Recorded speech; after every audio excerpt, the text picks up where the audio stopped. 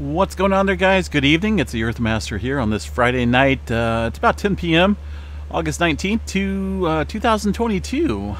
About 10:10 p.m. Uh, kind of getting a little late update in tonight, but better late than never. A 2.2 earthquake out there in the uh, Big Island, and also 1.4 down in Southern California. Latest quakes there on the Earthquake 3D globe. I want to start off here with the uh, Tau volcano out there around the American Samoa.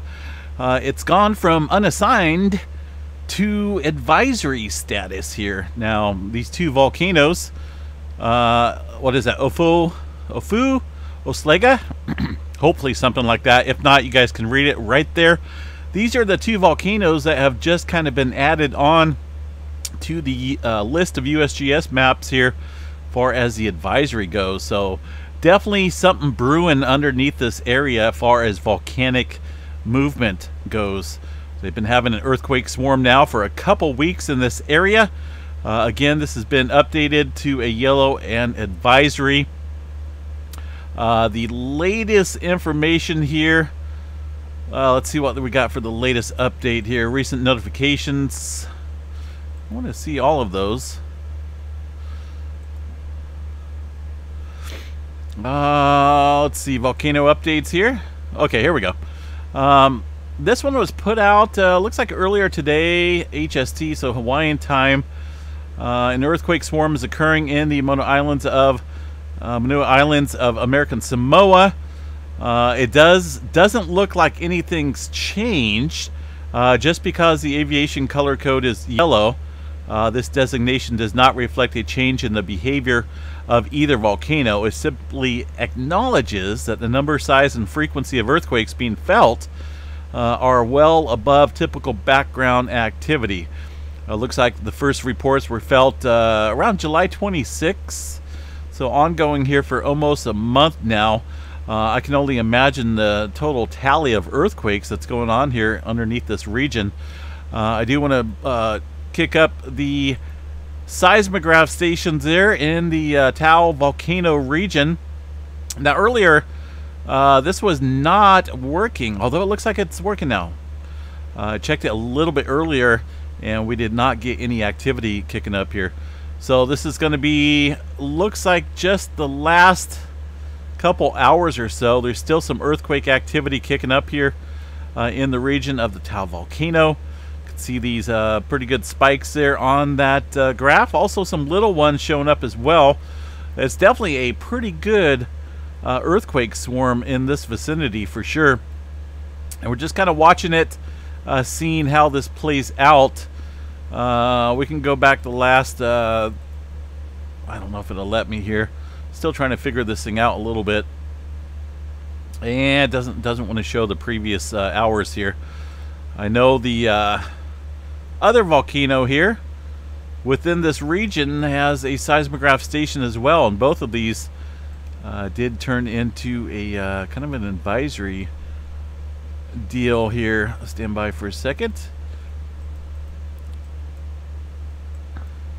Very close together as far as these uh, volcanoes go. Now this one here has the uh, data as well. Want to kick this up. Looks like it's through the uh, Raspberry Shake as well. Give it a second and we'll see what we got. Uh, yeah, this one shows a little bit more uh, back in time. Uh, I think there was something going on with the data uh, early afternoon time frame and early morning. I just I couldn't access it, so it looked like they had a little blackout. So here's the last uh, oh 24 hours or so of earthquake activity. Still even this region picking up on the earthquake swarm, there's a, a lot. Uh, I'm sure well over 100 earthquakes or so on this map. Again, these smaller ones, even little ones like this, are indicative of an earthquake. Just not as strong uh, as a magnitude, but uh, things are ongoing, folks. There, and I'm sure it's uh, brewing into something bigger. Uh, how big? We'll just have to wait and see and find out. Uh, definitely best be prepared though if you're out in that region for sure. Um, see what we got uh, for earthquake activity out here along the west coast. Not a whole lot in the 2.5 and above map. Got to go down to the uh, all magnitudes here. uh, to kind of see a little a little earthquake activity ramping up out here along the west coast, mostly uh, around the Sierra Nevada and also the western portion here of Nevada, right around the Tonopah area. All seeing quite a bit of microquake movement today. Uh, and some scattered activity all throughout the Intermountain West regions, also up into the uh, Pacific Northwest at uh, a couple of the volcanoes, all just showing some microquakes. Uh, on that matter, we're going to check the tremor map tonight and see what we got for uh, the tremor. Oh, that's a pretty big number there, 376 for a one-day tally. That's almost twice what we seen yesterday. So uh, things definitely kicking up here in Northern California. we haven't seen too much in terms of earthquake activity in California. It looks like maybe this one right here, uh, 2.4 at 17 kilometers, uh, just south of Eureka. I'm pretty certain that's uh, a little bit of a buildup here and a lot of strain, I would say, from all the tremor activity we've seen throughout the last couple days in this region. Uh, so watch that area, southern uh, southern portion of the Cascadia. Uh, not a whole lot going on throughout the rest of the country. A couple spotty earthquakes, folks, and that's about it. Puerto Rico has almost dropped down to nothing. I've never seen it like that before at all.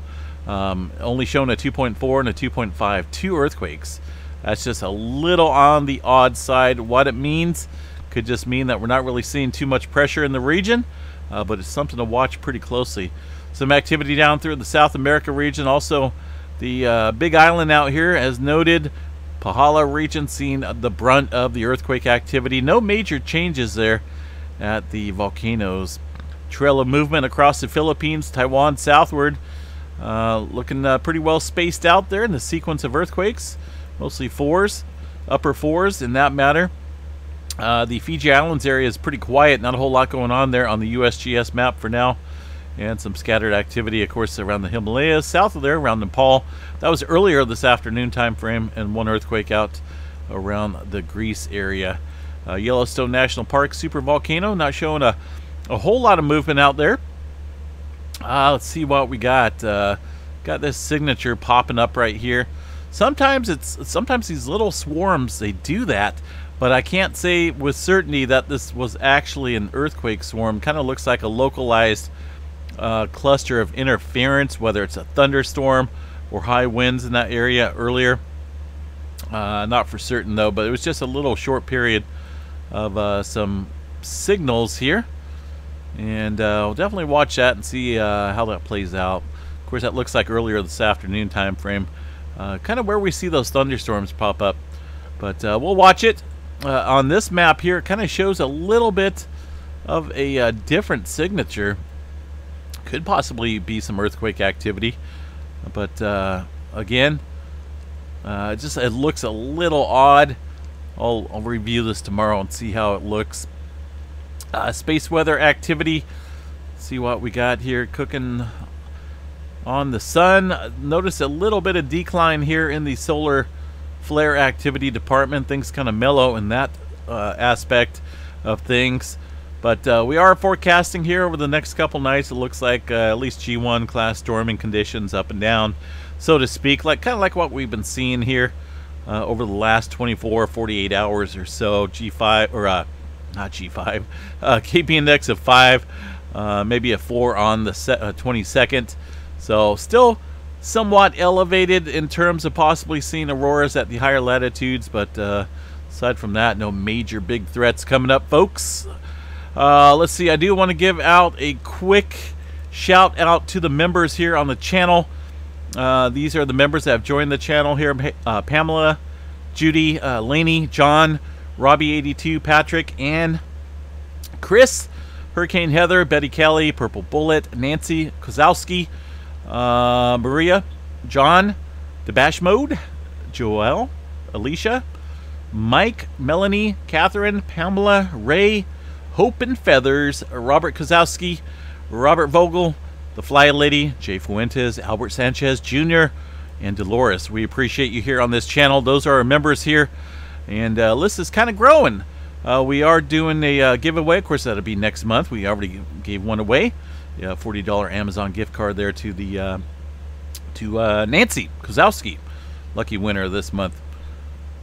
All right, guys, have a good night. Stay safe out there, and uh, we will chat you guys a little bit later on again, uh,